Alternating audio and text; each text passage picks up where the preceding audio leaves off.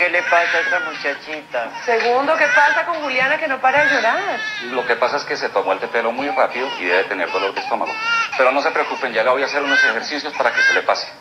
Además, la niña todavía no ha entrado en horario de alimentarse bien. Pero hay que tener mucha paciencia mientras lo hace.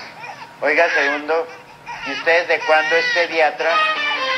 Pues desde que me di cuenta que en esta casa nadie la trata como se debe. Y usted que es la única que tiene experiencia en eso, debería estar colaborando, ¿no? Sí, no, ¿y usted qué se cree, ah? Yo a mi edad ya, qué niñitos, ni que ocho cuartos. Además, esa experiencia no la repetiría por nada en el mundo. A ver, más bien vaya, calla la muchachita, yo me termino mi cigarrillo y me voy a dormir en paz, ¿sí? Doña Antonia, ¿usted cuándo va a entender que la niña Juliana es apenas una bebé? En este momento ya lo que necesita es afecto, cariño, amor y sobre todo comprensión de todos los que vivimos en esta casa. Empezando por usted, ¿no? De manera que haga el favor de bajar la voz, porque la voy a dormir y necesitamos silencio.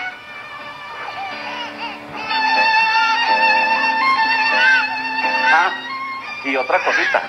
No se le olvide que usted todavía está en periodo de prueba, ¿no? Y si no cambia su manera de tratar a la gente, vuelvo y me voy. Lo hice, ¿no? Don Alejandro, le juro